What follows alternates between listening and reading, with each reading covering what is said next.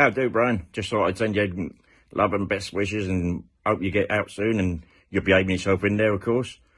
Remember, we've got plans I'm coming up as soon as I can, so we've got some things on the cars we need to do.